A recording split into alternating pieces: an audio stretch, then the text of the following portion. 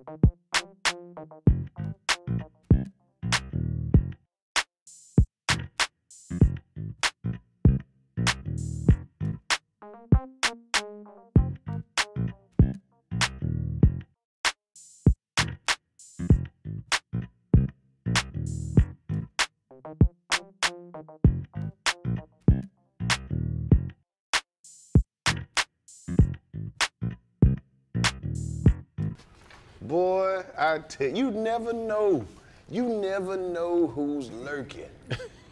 it's always somebody lurking, just waiting to try to take you out the game. Did you know? You know what I'm saying, J.O.N.? I'm just over here minding my business, man. I ain't even in my old school today. And then I'm sitting here and I'm working, and then I just hear somebody outside just, just cutting up, clowning, acting a fool, just hitting the gas off. I'm like, what, what is, what is all this ruckus about? Ain't nobody called me and gave me no heads up or nothing. Ain't nobody said, Lo, you might want to pull one of them bad motherfuckers out today.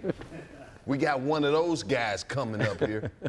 But yeah, he gonna caught me all off guard. I'm like, yeah, Yeah. I think you go put that shit up. Yeah.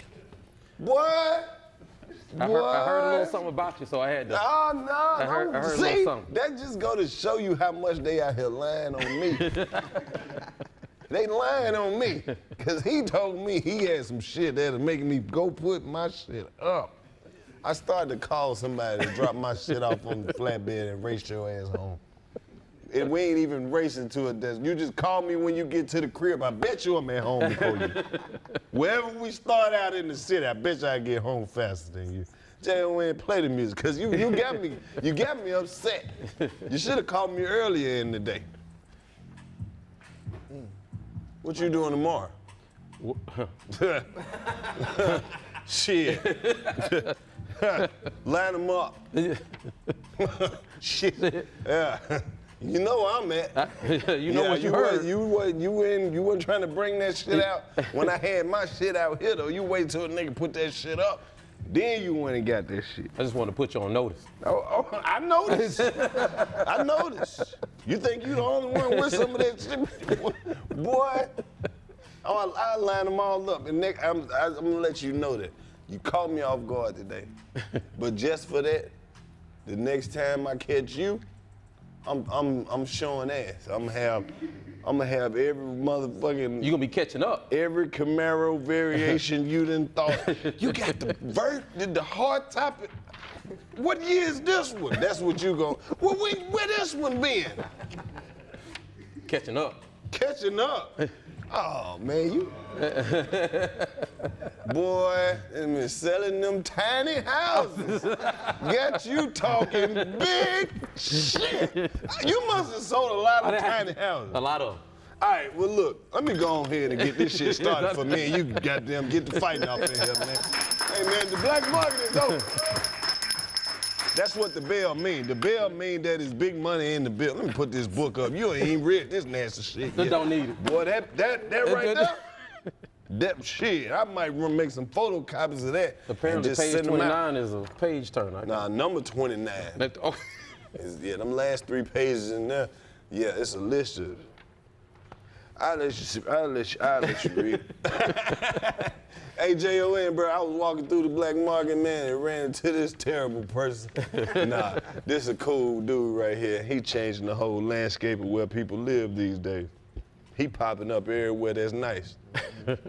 even some places that wasn't even nice before and making them nice. Mm. I think this is a visionary, and he really got some good shit going on. So I had to get him on this black market to talk about these things, man. None other than look, people gonna think I'm crazy when I say this. Booker T. Washington is here with us today, bro. I am not playing. I didn't make this up. What's up, Booker T? what's up? What's up? Man, tell me something good. Only thing good, man, is changing where we live at, where we live at, where we grew up at, changing the hood as we see it. Right. They say you out here making big money deals with the real estate. Man, I think within our culture and the black culture, it's always been big money. Yeah. We just haven't really collaborated enough together to make it happen, To make it even bigger. to make it even bigger Right, and right, better right. where we live at. You know, the biggest thing about Techie Homes and South Park Cottages that made it historic is not just that we just built a house, it's how we did it. Right. We crowdfunded that development. That's a multi-million dollar development that we built on the backs of just general people saying, hey, you want in on this deal. Right. And I know you used all the money because you ain't do nothing with it. Yeah, he, he spent all the money, y'all. No, just fucking. But on a street that's infamous, known Yeah. for all the bad things, Old National Godby Road, College Park. yeah. You know what I'm saying? We changed that into an oasis of luxury just because we decided to do something different. Uh, and I grew up around that community. So the biggest thing, you know, we turned micro houses into 1000000s Mm-hmm. That's a $6 million development that we did on Godby Road. I know it. I remember the, the, the process Yes, right. of hearing about it, and then when people seeing it, everybody was like, "How I can get in on the next one, bro?" Already sold out. exactly. Already sold out. So, what was the process of you selecting to go the route with the with the tiny homes and the things of that nature, container homes and shit like that? The biggest reason we selected it is because in real estate, in any metro area market, the average home price is half a million dollars. Mm-hmm. Okay? The person has to be making well over $100,000 a year to be able to afford that home, right? But 75% of people don't make over $100,000. So what does that tell you? The biggest amount of people are living in an area or can't afford home ownership Right. the biggest way to wealth for anybody, and ask anybody that got money, they own some form of real estate. I don't care if it's land, I don't care if it's a mobile home park, I don't care if it's uh, their mama's house. Whatever it is, they own some form of real estate in order to achieve that wealth. What they would tell you is, is let me give you very luxury apartments with gyms and retail on the bottom and make you feel like you live in a great life. But at the same time, they're strategically moving around you and having all the money. Right.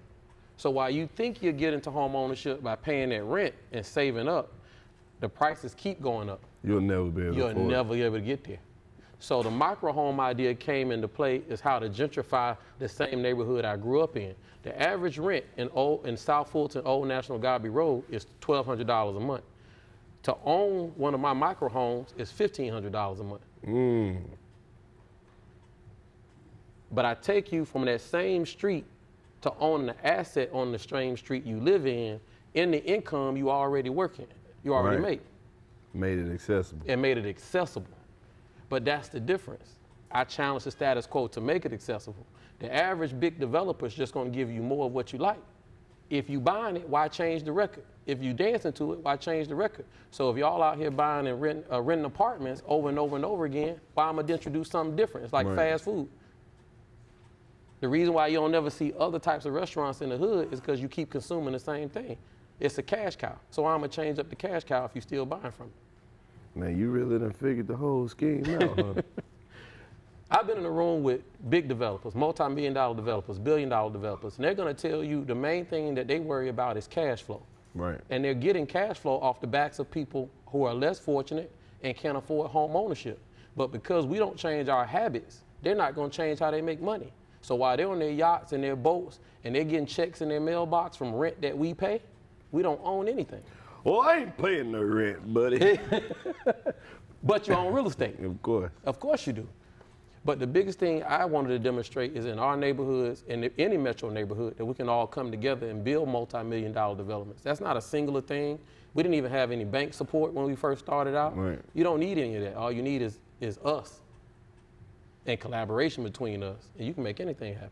Exactly. Well, I know that like now, these these things are selling out faster than you can put them up. Because Right. that's what the demand has always what's been. the what's the waiting list looking like now? What's Over the wait time? 3,000. Really? over 3,000. The waiting list is over 3,000 for a techie home. Mm. So we're going to Union City, Georgia next, which is still in the urban outside area of Metro Atlanta. Right. And then we'll be going to Atlanta late this fall. Okay. But well, as you know, those communities are only 25 to 30 houses. So we still have a big gap to fill for all the people that want one Right. and all the people that feel like they want to live in one. Because we just don't offer them just a home, we offer them a whole subdivision, a whole community. Because within South Park, we have a lot of sustainable s- initiatives. We have a dog park, we have a vegetable garden, we got our own belt line that we mm. call the Black Line. It's a quarter, a quarter acre, a quarter mile trail that goes around the entire community. Bro, you know we done peeped all this. But we did it on three acres. Of course. So my question to people is why you need all this land, 40 acres, 50 acres outside of a metro area when you got one acre, two acre, and three acre lots right where next door to where your uncle and your grandma live. Let me ask you this: What type of people are, are living in tiny homes and things of that nature now? Everybody. Really? Let me tell you who also is living in a tiny home. Somebody you know. Let me ask you a question. You know somebody living in an apartment right now? Don't fucking play with me. not gonna play mine. If you games. live, if the average apartment size in Metro Atlanta is 715 square feet. The average bedroom size of an apartment in Metro Atlanta is one bedroom. The average bathroom size is one bedroom. 3.7 million Atlantans live in an apartment. Average square size, square footage is 700 and below. So when people say, "Well, who buying a microhome?" Well, you are, because you live in one. You just don't define it as that. You are good at this. I see why you winning.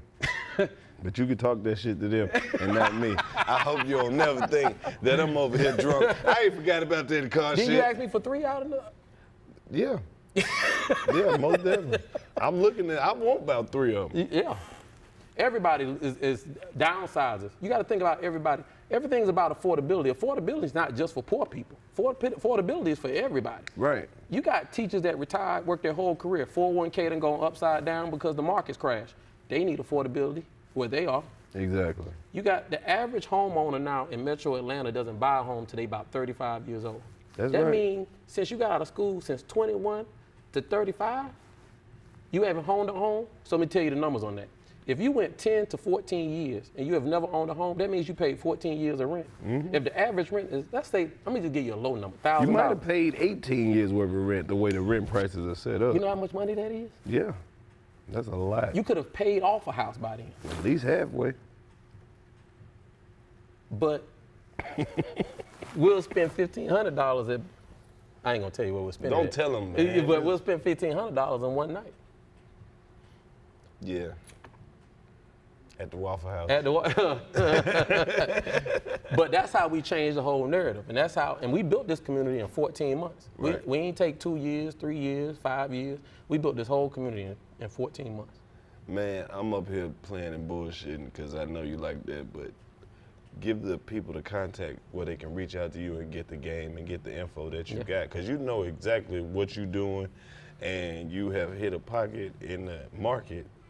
And I feel like you, like you said, you always be talking shit, but I know you serious and Yeah. you, you got the game from the tech billionaires. And just speak on that for a second. Man. So, my- and let them know where they can reach out to you and, and you know get the get the game you got. Too. Absolutely. So, you know, my experience come from working around a lot of great leaders. I've had the opportunity to work around Arthur Blank. I've had the opportunity to work around Elon Musk. Um, I've just had the opportunity to be around corporate America and see how wealthy people have built their their wealth How they do it? through real estate. They started early and they never stopped. And one real estate asset built upon another asset. To keep flipping. And they kept flipping it. That's how they got to millions. And they millions got them into conversations to buy teams and to buy properties, okay? So those types of things is how you become wealthy. But it all starts with that one seed, and that one seed is ownership. Your car note is not ownership, okay? Uh, ain't no car note on that 69, by the way. Oh, okay, Uh, yeah. But it, it, it, I heard he had a little note on it. now that's fucked up. I heard he still had a little note on it. um, your car note not is not an asset. That apartment you living in is not an asset. That townhome you rent from your friend is not an asset. Right. You can't put it on the, on any application to go leverage it into something else. So that's the wealth of knowledge I, that I gained, and I'm just a I'm just a dude from the hood that got a chance to get an essence of knowledge. So I'm gonna pass it on best way I can. So for people that want to reach out to me, you can reach me via social media at Mr. underscore Booker T, or you can find our community also uh, on Instagram at Techie Homes, or you can just go to SouthParkCottages.com. Uh, but look, we just invite everybody to join the conversation about collaborative economics, man. That's the biggest message because inside of our urban areas and inside of our hoods is millions of dollars worth of wealth and opportunity. And we don't want to just give it away. We got to fight and earn a little bit of it. And South Park is just an example of how we could take a micro idea or a tiny dream and turn it into millions. I want a container house. We can build you whatever you want. You know, I'm, that's, that's my shit. I like, I love them container crib. I want one. You want one? Yeah. We can make that happen for you. Yeah, I want to go ahead and lay me out something real. How about dope. we swap uh, a container home for your 67? I got a couple 67. I let, yeah, we might be able to pull Okay, something you'll off. pull on something off, yeah. No, for real. And I don't be playing now. I know how to leverage assets. But uh, but see that how we doing that right there? Yeah, You got something to leverage because you got an asset. exactly. If you had no asset, you I couldn't flip it. I got you couldn't flip it into no home. Assets, you Yeah. hear me?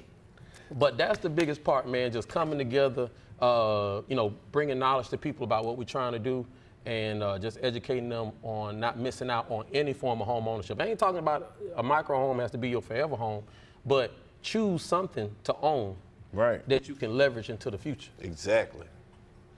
Well, shit, you know exactly where we are, man. It's your first time coming through the black market, but don't let it be your last. I'm pulling up. I'll be here. but you got no, hold on up before I ring the bell. You got to call before you pull up because I need to know what you pulling up in. You can hear it. Oh, here you go with this shit. Yeah, okay, don't let this shit happen again. If, if anybody even see what he pulled up in anywhere around this area, let me know. Don't bring that shit to the south side. Okay. You take that shit back up that way. You don't bring it over here. nah, but man, you got My a dope ass ride too, and I'm gonna I'm gonna send somebody out there with the camera so they can see why we keep going back and forth about it, man. Come see about 85 it. South Show Black Market. we Appreciate it, out of here. Booker T. Washington.